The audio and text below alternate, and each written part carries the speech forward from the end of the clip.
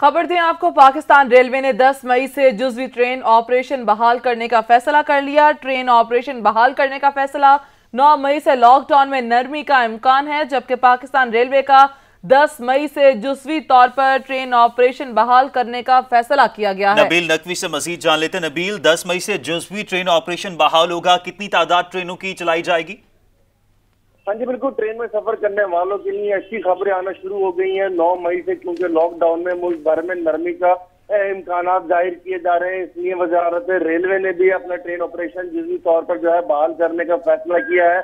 तमाम हफ़्ते के रोज जिस हफ़्ते के रोज जब शेख रशीद साहब ने लाहौर में प्रेस कॉन्फ्रेंस की थी तो उन्होंने जजवी तौर पर जो ऐलान किया था, उसमें तीस ट्रेन जो था, वो चलाने का ऐलान किया गया था। शेख रशीद की जानी से तमाम अभी फैसला ये सामने आ रहा है कि अगर नौ मई को लॉकडाउन में नरमी होती है तो 10 मई से जो है, पाकिस्तान रेलवे अपना ट्रेन ऑपरेशन जो है, वो बहाल कर देगा तमाम शेख रशीद साहब का तो प्रेस कॉन्फ्रेंस में भी ये कहना था कि वज़ीर अजम इमरान खान की परमिशन से अगर जैसे ही वो ऐलान करेंगे तो 24 घंटे के अंदर अंदर जो है, वो ट्रेन ऑपरेशन जो है बहाल कर दिया जाएगा। इसलिए अब अगर 9 मई से लॉकडाउन में नरमी होती है तो पाकिस्तान रेलवे ने पाकिस्तान रेलवे के मुसाफिरों के लिए एक बहुत अच्छा फैसला किया कि दस मई से जजवी तौर पर मुल्क भर में जो है वो ट्रेन ऑपरेशन बहाल करने का फैसला किया गया राय के मुताबिक जी।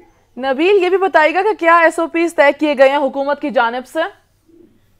जी बिल्कुल अब बताता चलूँ कि शेख रशीद साहब ने भी ये बात कही थी और राय के मुताबिक भी ये बात है कि जब ट्रेन ऑपरेशन बहाल होगा तो तमाम ट्रेनों में जो एहतियाती तदाबीर है वो मुकम्मल तौर पर अपनाई जाएँगी सैनिटाइजर्स वगैरह और जो मास्क के बगैर सफ़र करने वालों को इजाज़त नहीं होगी ताहम खास तौर पर जो एहतियाती तदाबीर है कोरोना वायरस से बचने के लिए, ये इस तरह के तमाम एस ओ पीज पर मुकम्मल तौर पर अमल दरामद किया जाएगा ताकि किसी भी किस्म की कोरोना वायरस का जो फैलाव है उसको खास तौर पर ट्रेन ऑपरेशन की बहाली के बाद ट्रेन ट्रेन में रोका जा सके, इसलिए रेलवे की जानी से तमाम तरह एसओपीज को मद्देनजर रखते हुए ये फैसला किया गया कि 10 मई से जुजवी तौर पर जो है वो ट्रेन ऑपरेशन बहाल करने का फैसला किया गया है। नबील, इससे पहले भी हम देख रहे हैं कि जुजवी तौर पर जब लॉकडाउन में नरमी की गई थी और अब 9 मई के बाद फिर से कहा जा रहा है कि लॉकडाउन में नरमी कर दी जाएगी, इससे पहले जितनी भी एसओपीज पर थे, उन पर अमल दरामद मुमकिन नहीं बनाया जा सका था। तो इसके बाद जो एसओपीज आप बता रहे हैं, इस पर हुकूमत किस तरह से अमल दरामद मुमकिन बनाएगी?